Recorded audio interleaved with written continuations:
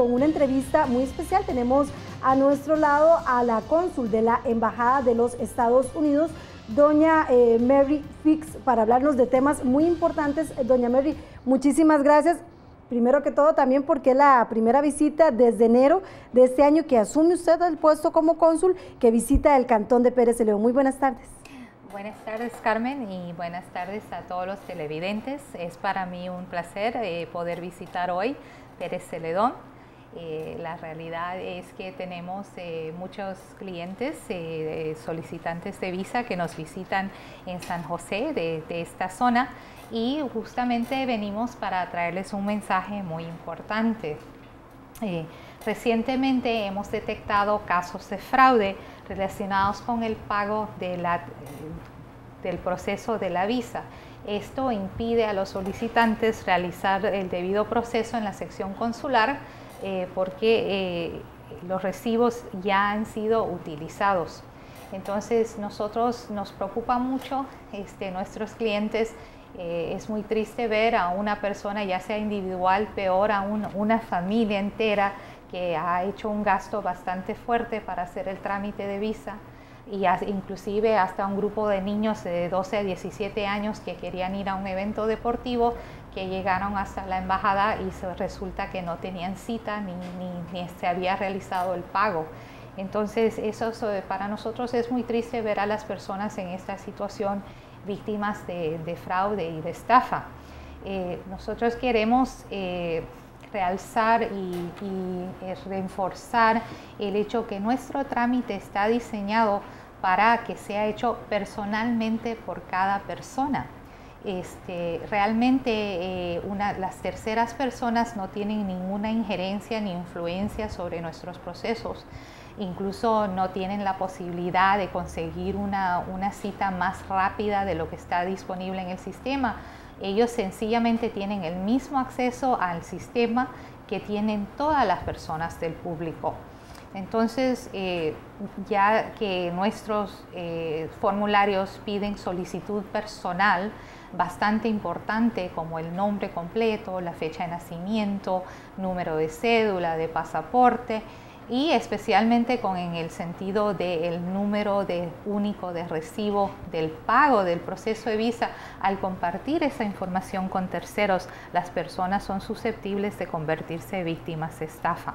Entonces, eh, queremos nosotros eh, eh, básicamente que todas las personas sepan de que no necesitan pagar a terceros para ayudarle con el trámite. En nuestro sistema, incluso si alguien tiene una emergencia médica o si hay una muerte en la familia y uno está o está está tratando de llegar rápido por algún tema de urgencia, existe la opción de, eh, solicitar una cita de urgencia y no tiene ningún costo adicional. El costo de la visa es exclusivamente 160 dólares. No, eso incluye eh, la, entrega por correos a la persona después de terminado el proceso entonces queremos eh, estar seguros de que todas las personas estén familiarizados con el proceso nuestro y que realmente es un proceso diseñado para ser eh, realizado personalmente. Doña Mary, cuando usted hace referencia a que han recibido muchísimas denuncias acá en el caso del cantón de Pérez Celedón, cuánta cantidad de personas les han hablado de este tipo de estafas que hemos escuchado que ha incrementado ya en los últimos días? Tenemos más de 100 personas que han sido estafadas, o sea que ese es un valor de 16 mil dólares. ¿En cuánto tiempo más o menos estas 100 personas han recurrido a ustedes por este tipo de problemas? Desde marzo de este año. O sea, recientemente entonces. Sí, esto se inició en marzo y nosotros empezamos a investigar. Lo que hemos hecho es que a las personas que son víctimas les pedimos que por favor ellos hagan la denuncia con la OIJ. OIJ ha estado recabando los datos y nosotros hemos estado aportando toda la información que tenemos y todas las investigaciones nuestras también a OIJ para que puedan investigar estos casos y dar fin a este, a este tremendo problema. Doña Mary, ¿cuál es exactamente la situación cuando usted dice que la persona debería recurrir personalmente a la embajada hacer su trámite personal, que es que buscan intermediarios, terceros, para que les faciliten este trámite. ¿Eso es posible? Sí. hay muchos negocios que ofrecen como servicio sacar la cita, la fecha de entrevista y llenar el formulario en línea y hacer el pago del trámite. Y ahí viene el problema. Este, hay muchas personas que tienen dificultad a veces con, con, la, eh, eh, con la página, o sea, con manejar, llenar el formulario en, en línea, ¿no? Entonces, a esas personas que tal vez eh, tienen dificultad porque no manejan bien las computadoras y las páginas web, lo que les sugerimos es que ellos pidan a una persona de confianza, un hijo, un sobrino, un, alguien que ellos que sea de su entera confianza para que le ayude a llenar el formulario, especialmente porque eh, la información que hay que dar es de carácter muy personal. O sea, un extraño no va a saber si la persona alguna vez aplicó para una visa anteriormente, si viajó antes a Estados Unidos, los nombres de los papás, o sea, toda esa, esa información muy, muy personal que nosotros pedimos para el trámite de visa. Y realmente cuando la persona llena su propia solicitud, al momento de la entrevista, tiene una mejor entrevista porque conoce exactamente la información que ingresó en el formulario. A veces cuando los formularios son llenados por terceros, incluso nosotros vemos que hay errores y eso causa confusión al momento de hacer el trámite de la visa. Este, nosotros hoy a las 12 de la tarde tenemos en el complejo cultural una sesión de información al público para familiarizarlos con el trámite de visa para que eh, se sientan más cómodos realizando personalmente este, todo el trámite. Doña Mary, importantísimo que también la población conozca que las preguntas se traducen de manera automática también al español, porque también se ingresan al sitio se topan con que la mayoría de consultas o todo están en inglés, pero sí se puede hacer la traducción para aquellas que, no manejan bien esa segunda Las preguntas están en español. Eh, las preguntas del formulario se encuentran en español para que las personas puedan llenar ellos mismos su solicitud. Es más, si tienen dificultad con el proceso o, o tienen preguntas o dudas, hay una línea telefónica que ellos pueden llamar. Es el 4000 1976 en esa línea telefónica pueden dar cualquier pregunta o si tienen problemas técnicos con la página web, ahí lo pueden reportar también y les pueden ayudar. Doña Mary, es preocupante cuando se hace referencia a 100 casos prácticamente de marzo a la fecha. Hacía referencia también a un equipo de fútbol de niños que presentó esta situación y también otras circunstancias que también se dieron en este día, estos días de otro grupo ya bastante grande de unas 80 personas que también han tenido esos problemas. ¿Esto está pasando solo en Pérez Celedón o también se está registrando en otras partes del país? Porque vemos que se están enfocando mucho acá en el cantón. Nos estamos enfocando en Pérez Celedón porque la mayoría de los casos son de Pérez Celedón siempre Pérez Celedón ha estado como en ese, en ese punto a nivel de la Embajada de los Estados Unidos, cuando se daban las situaciones con las diferentes situaciones, eh, con los famosos coyotes que han estado siendo parte de esto, el, cantón de Pérez Celedón siempre ha estado como en el ojo del huracán en los procesos de trámites de visa en la Embajada de los Estados Unidos. Este, en ese sentido, digamos, yo llegué acá en enero y el único problema que yo he visto es este tema de fraude que nos preocupa porque nos preocupa que nuestros clientes costarricenses sean víctimas de estafa, ¿no? Y queremos difundir la información necesaria para que ellos puedan protegerse y, y no ser víctimas de este tipo de engaño. ¿Hay alguna forma en que la persona pueda verificar que el lugar que se tramita, la agencia, pues cuenta con la validación correspondiente, no hay cómo. No hay ninguna validación, ninguna de estas oficinas que ofrecen los servicios están validadas o, tienen ningún vínculo o ninguna injerencia con respecto al trámite con o, vínculo con la embajada americana. O sea, no hay ninguna, ningún tipo de, O sea, no hay garantía. no hay ninguna garantía. Es, sencillamente una persona que eh, abrió un negocio y ofreció ese servicio. Este, no están autorizadas de ninguna manera para tener injerencia alguna en el, trámite. O sea, no se puede confiar. Yo siento que tal vez aquí el problema también es que los costarricenses nos confiamos demasiado para hacer o le tenemos miedo a la hora de hacer este trámite, como usted lo dice.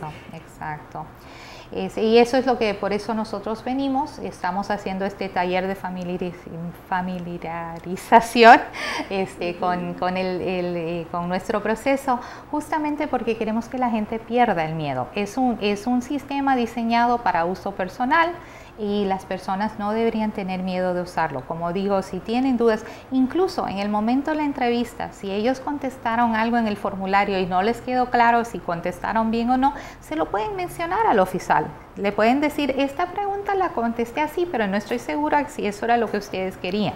O sea, es una conversación, no deben de tener miedo, no deben de tener miedo al momento de aplicar y especialmente yo diría que eh, deberían estar extremadamente sospechosos si alguien le está pidiendo dinero extra, porque nuestro trámite tiene un costo único de 160 dólares. Eso incluye todo. Entonces, si alguien le dice, tienes que darme más dinero para que conseguirte una cita más rápido, eso es una estafa. Si alguien dice, mira, sin este paquete de documentos que te voy a dar, no te van a dar la visa, te, voy a cobrar eh, un monto por darte un paquete que te garantiza que vas a sacar la visa, eso es una estafa, porque incluso en ese sentido, cuando las personas presentan documentación falsa que fue facilitada por, estas, por terceras personas, eso constituye una inelegibilidad legal que más bien les produce un efecto negativo y, a, veces eh, no es posible calificar nunca más para la visa. Entonces todo eso perjudica, pero en el momento que alguien les está pidiendo más de 160 dólares por el trámite y, lo que sea que cobren por su servicio llenar el formulario, eso es una alerta roja. Es algo que también se podrían ahorrar, porque solamente si se hace personalmente el trámite, no tendrían necesidad de estar pagando más allá de lo que se cobra por el trámite de la visa. Exacto, es un gasto innecesario que no necesitan incurrir. O sea, de, de, hecho ya para una familia el costo de tramitar la visa es, alto. Entonces imagínense, están pagando de más por algo que no les beneficia en absoluto. En el caso de esos 100 casos, ¿qué pasa? Solamente se podría resolver por la vía judicial. Ustedes ahí es lo único que podrían hacer, no se podría Digamos, ellos los buscan, recurren a ustedes cuando se dan las circunstancias, pero lo único que procede es acudir a los tribunales. Claro, nosotros sí hemos puesto una denuncia con OIJ, además de las personas individuales afectadas, este, la embajada también ha puesto una denuncia sobre este tema a OIJ. Y este, cualquier persona que cree que es víctima de fraude debería llamar al 4000 1976 para reportarlo pero sí necesitamos el número de caso de OIJ que ellos ya lo reportaron a OIJ para, para los efectos legales. Acá en, e, ese análisis que se ha hecho, es, ¿son varias personas involucradas o prácticamente se dirige hacia una sola persona? Bueno, en ese sentido yo no puedo hablar sobre lo que está pasando en una investigación que está abierta actualmente, ¿no? eso es algo que, bueno, una vez que OIJ haya... Eh, eh, deliberado y analizado y eh, tomado las medidas, eso se va, se va a conocer, pero hoy por hoy es una investigación que está abierta. ¿Hace cuánto se presentó la denuncia por parte propiamente de ustedes? Oh, eh, nosotros desde marzo estamos brindando información a OIJ y cada vez que aparece un caso nuevo estamos brindando la información que, hacen ustedes es una alerta para evitar más casos. Exacto. Lo que nosotros nos gustaría ver es que no hayan más víctimas. O sea, realmente nos gustaría que venga una semana o un mes entero donde no viene ni una persona creyendo que tiene una cita y que ha pagado su, su o sea, el, la la cuota por, la, por el servicio y llega a, enterarse de que no tiene ni cita ni tampoco tiene eh, el pagado el servicio. Así es, por eso es que queremos invitarlos también, aprovechando la visita suya, doña Mary, porque a las 2 de la tarde en el Complejo Cultural en San Isidro del General, hoy van a tener una charla para explicarle a la gente, es una charla gratuita, hay que dejar claro para que la gente la tenga, personal de la Embajada de los Estados Unidos, va a explicar cómo se llena ese formulario, todo ese procedimiento al cual muchísima gente le tiene miedo. Exacto, vamos a dar una presentación, cómo funciona el sistema. La realidad es que con ir a nuestra página web, que es cr.usembassy, que es e m b a s s y.gov. Ahí inicia todo el trámite. Es un link que les lleva paso por paso con instrucciones y les permite hacer el trámite a cada persona individualmente. Así es que todos para que se acerquen por ahí es importante y aclarar dudas también. Me imagino que ahí también van a estar. Vamos a contestar preguntas, exactamente. Así es, doña Mary, le agradecemos muchísimo eh, este tiempo, el espacio y también para explicarle un poquito a la población las circunstancias que se están mediando en el caso para evitar ser víctimas de estafa y por supuesto también para que acudan a, las 2 de la tarde ahí al complejo cultural. Ok, pues muchísimas gracias, Carmen. Y muchísimas gracias también por venir a Pérez Celedón, ¿verdad? ¿Qué le ha parecido? No, un placer, me encanta, qué lindo lugar, las montañas, este, todo está precioso, es un placer estar acá con ustedes. Esperamos que también pues tenerla más eh, pronto en una próxima visita acá al Cantón de Pérez que por cierto me decía que estaba en Ubita también ayer. Sí, ayer estuvimos brindando servicios a los ciudadanos americanos en Ubita. Hoy vamos a brindar a los eh, servicios a la una de la tarde en el mismo complejo a los eh, ciudadanos americanos que sacaron cita para renovar pasaporte. Eh, vamos a estar brindando servicios acá también. Aprovechando de una vez la visita. Exactamente. Sí, muchísimas gracias. Le reitero, doña Mary, por la participación y también acompañarnos en esta edición de CN Sus Noticias. Ok, muchísimas gracias, Carmen. Conversamos con doña Mary Fix, quien es la cónsul de la Embajada de los Estados Unidos, haciendo referencia precisamente a este tema que les preocupa, la gran cantidad de denuncias que están recibiendo por los trámites que se están efectuando por medio de intermediarios. A las 2 de la tarde, si usted tiene más dudas, puede acercarse al Complejo Cultural en San Isidro del General, también una actividad totalmente gratuita y abierta a todo el público.